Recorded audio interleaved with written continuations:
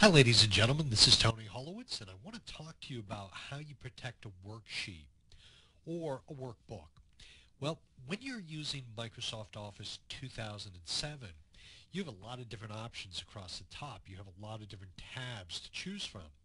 And what they've done is they've put things in sort of unusual places. And to me, it would have been under the Data tab because that would have made sense. You want to protect your data but actually it's under the Review tab. So if you go to Review, you have the ability to protect your data right here. And I want to show you this.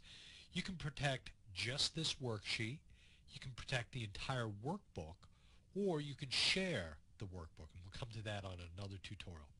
But what I'm going to do is I'm going to protect just this sheet. And I'm going to click on this.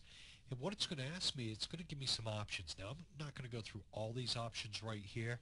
But what you need to know is that you have to put in a password to protect this sheet. So I'm going to type in the password of protect.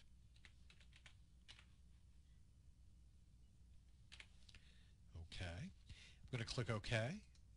It's going to ask me to do it again, P-R-O. Now I did all of that in small caps, so now let's see what happens.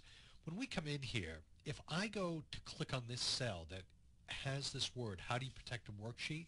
Well, if I try to type in my name, Tony, you'll see we have a chart or a warning that's come up saying we have already protected this and I can't change it.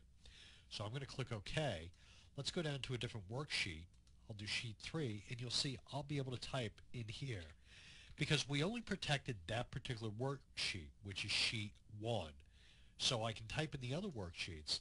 The difference being if I created another workbook or if I had protected the workbook versus just the specific sheet, that allows me some a way to differentiate the way I protect my information. So the workbook would have been everything. The worksheet is just the specific sheet. And in a standard sheet, we have one, two, three sheets in a workbook. So that's how you protect something.